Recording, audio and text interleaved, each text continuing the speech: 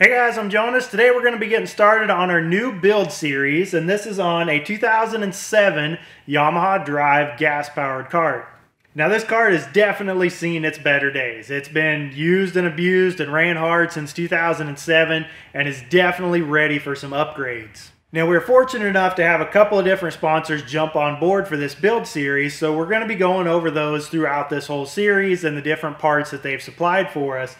But to get started, the first thing that we need to do is get the body removed from this cart and really get this thing stripped down and cleaned up and ready to start going back together with our new parts. If you guys want to follow along with this build series, be sure to subscribe and I'll leave a link in the description down below for the playlist of videos for this cart. To get started removing the body on this cart, the first thing that we need to do is remove the top and top supports. On the original Drive 1s, from 2007 up to 2016, you do have to remove the top or top supports to be able to remove the front or rear body section from the cart. Now there's a couple of different ways that you can go about removing the top depending on what you need to do to the cart.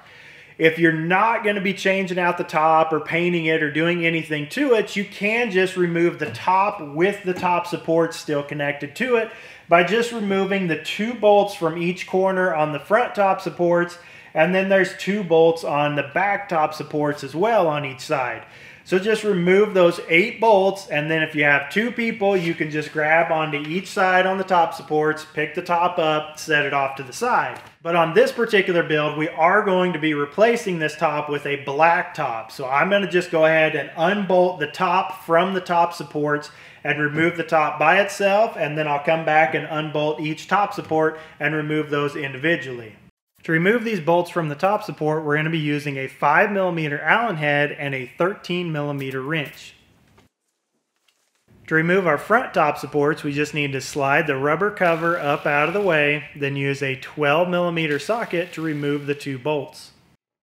Now for our rear top supports, we first need to remove the two Allen head bolts on each side that hold on our drain tubes. These use a 4 millimeter Allen head. These drain tubes do have a zip tie down in the engine bay area that hold the bottom of the drain tube in place. You should be able to slide the drain tube up out of that zip tie without having to cut it. Just remember when you go to reinstall these drain tubes that they get slid back down inside of those zip ties. Now we can use a 12 millimeter socket to remove the two bolts on each side holding our rear top supports in place. Next, we're going to use a 10 millimeter wrench to remove the four bolts holding our seat back assembly in place. If you're not going to be replacing this seat back assembly or installing a rear seat kit, you do not have to remove the seat back assembly from the bag holder assembly. You can skip this step.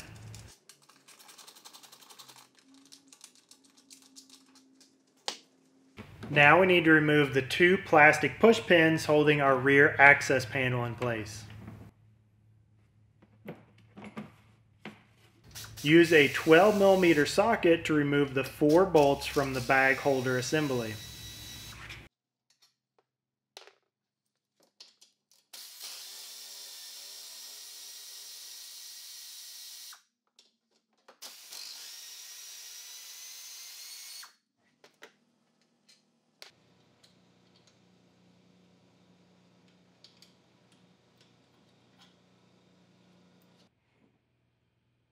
Next, we need to remove the 11 plastic push pins holding our floor mat in place. To do that, I like to use this body clip removal tool. I'll leave a link for this in the description below.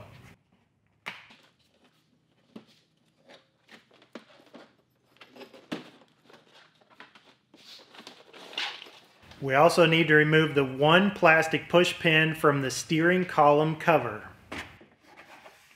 To remove the center cup holder assembly, we need to remove the Allen head screw using a 3 millimeter wrench. Now we can remove the four Allen head screws on the back of the dash.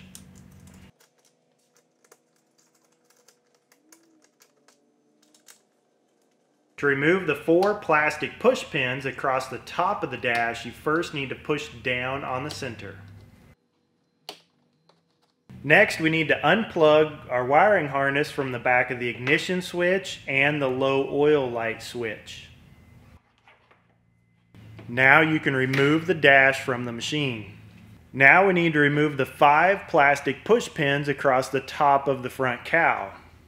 To remove these, just press down on the center of the push pin until it pops out the bottom. If you're having problems with your plastic push pins being difficult to remove, try spraying them with a lubricant first. Now we have a screw on either side to remove using an 8 millimeter socket. Now we just have one bolt left to remove that's located directly above the front bumper. Now to remove our side skirts, we need to remove the plastic push pin from the front and the back.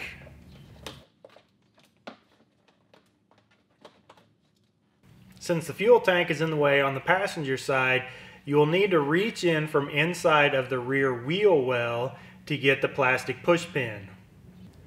Then we have two screws in the middle that use an 8 millimeter socket. Then pull out on the top of the side skirt and push down to disengage the three tabs along the bottom.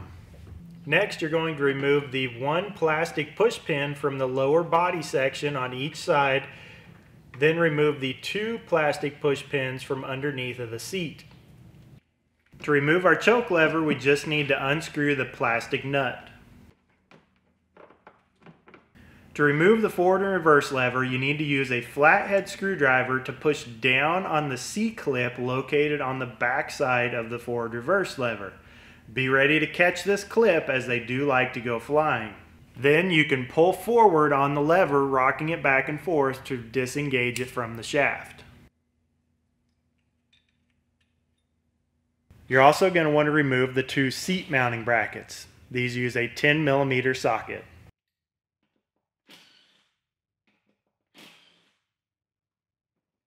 The last thing we need to do is remove our bag well by just removing the plastic push pins and the two bolts using a 10 millimeter socket.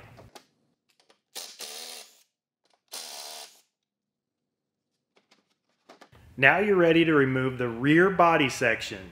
You're going to want to tilt the back of the body up in the air first to help slide the front off of your forward and reverse shaft. Now, while you've got your cart stripped down like this, you've got a great opportunity to really go through this thing, get it cleaned up, and get a full service done on it. With the body off, you've got good access to the entire cart to be able to do your engine service, rear diff service, brakes, steering, all your linkages, cables, everything on this cart is really easy to get to. Now we're going to have quite a few videos coming out on how to do all the maintenance on these carts, especially while you've got them stripped down like this. So you guys be sure to subscribe and hit the bell so you catch those notifications. Now we've got some big plans for this cart. We're going to be installing a Madjax 6-inch A-arm style lift kit along with some 22-inch tall tires. Now installing that lift kit is going to give us the room that we need to be able to install our new Predator 22 horse V-twin engine. So that's going to be roughly double the amount of horsepower that this cart came with from the factory. To install that new engine, we're going to be using the brand new conversion kit from Vegas Carts that they just released for these G29 carts. We've also got a custom painted body along with a brand new set of seats, a painted top, new windshield, and a couple other goodies we're going to be installing along the way. Well, that's going to wrap it up for today, guys. If you got some good value out of this video, please hit that thumbs up button. Consider subscribing. Thanks for watching. Have a great day.